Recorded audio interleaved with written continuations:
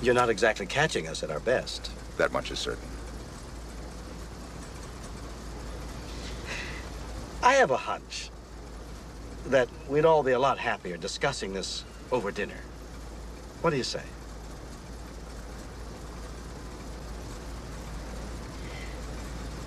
You guys like Italian?